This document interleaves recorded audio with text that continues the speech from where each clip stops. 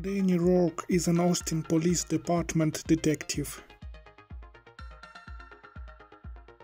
He recalls to the psychologist the abduction of his little daughter Minnie. This incident led to the dissolution of his marriage. Then Rourke is picked up by his partner Nix. The man informs Danny they have received an anonymous call that a bank will be robbed. At the stakeout, the man witness a cryptic man give instructions to people. Policemen and bank employees also follow his commands. The detective finds inside the targeted safe deposit box a photo of his daughter. The picture has a message Find Lev Dellrayne written on it. The detective pursues the man to a rooftop. Then the man commands two police officers to kill each other as he runs away. Rourke inquires into the case. The man is convinced the robbery has something to do with the disappearance of Minnie. His partner Nix runs trace on the tip of call. Rourke finds an address of Diana Cruz. The woman is a soothsayer. The man describes to Cruz the man from the bank. Then one of her clients, under the control of that man, drives a motorbike through the window. The detective takes the woman into protective custody. Cruz explains that the man from the bank is named Lev Dellrayne. That man and Cruz are both the escaped hypnotics, mighty hypnotists trained by a government division to control people. Cruz tries to exercise a mind control on Rourke. But the detective is mysteriously immune to such mind control.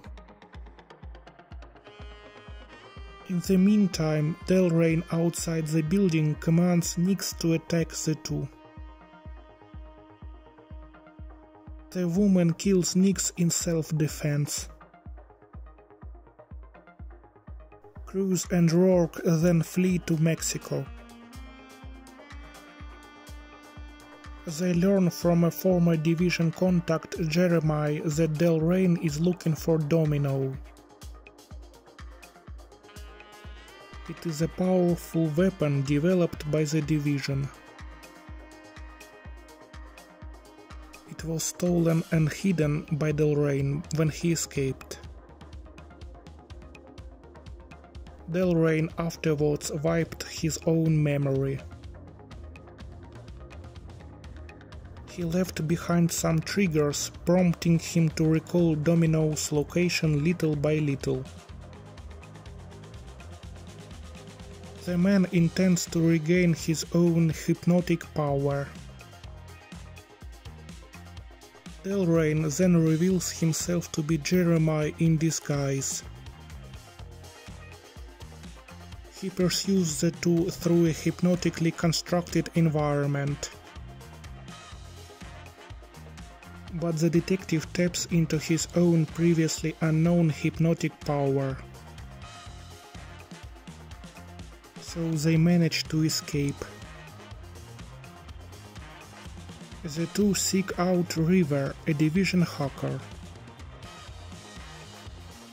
The man discovers the detective's wife Vivian in Division's database.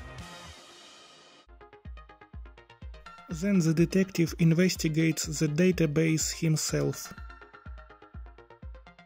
He discovers that his daughter is Domino.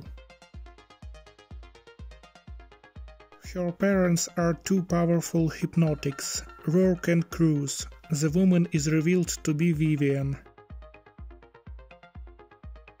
The detective realizes that the apartment and all of the events up to this point have been hypnotic constructs. Rourke wakes up in a large room populated by division agents. The man has seen all the agents throughout the constructed story, including Nix and Dellrayne. Vivian and Dellrayne explain that Vivian and Rourke are powerful hypnotics. Their daughter Minnie was born and raised within the division. Rourke escaped with Minnie to stop her from becoming a weapon. Hiding Minnie and then wiping his memory, Rourke does not remember where the girl is. The division has been putting Rourke through hypnotic constructs of the search for Minnie to make him remember. Rourke is plugged back into the construct. The man repeats the session with his psychologist and the stakeout at the bank heist. Nevertheless, Rourke soon escapes using his powers.